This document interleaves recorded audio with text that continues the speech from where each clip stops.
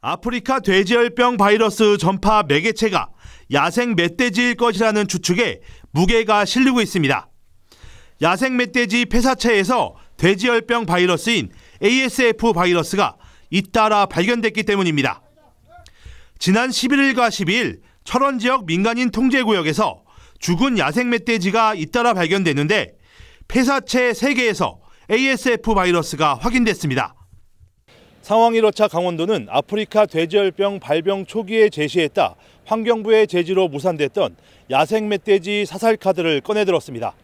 철원을 제외한 화천과 양구, 인제와 고성 지역 DM짓을 맡고 있는 군부대에 멧돼지 발견 즉시 사살해 줄 것을 요청했습니다.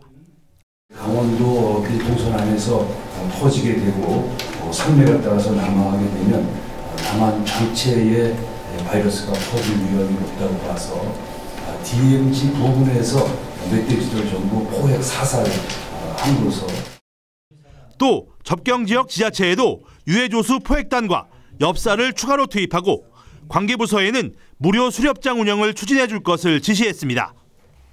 하지만 바이러스 확산 방지를 위한 골든 타임을 놓쳤다는 우려의 목소리도 나오고 있는 상황.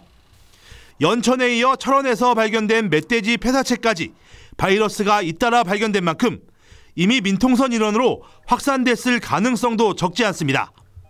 더 큰 문제는 감염된 멧돼지를 먹거나 접촉한 새를 비롯한 짐승들에 의해 확산될 가능성도 적지 않다는 겁니다. 농가 사이에 만약에 뭐 개가 왔다 갔다 했다 음. 그럼 뭐 그 개일 수도 있고 쥐가 왔다 갔다 음. 했다 그러면 뭐 쥐일 수도 있고 그런 거죠. 근데 이 농장에서 발생하고 다음 다음 날 발생했다 해서 얘한테 옮겨간 거는 아니라고 봐요.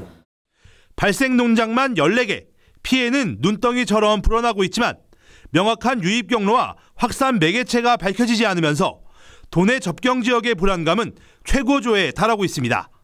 헬로티비 뉴스 장진철입니다.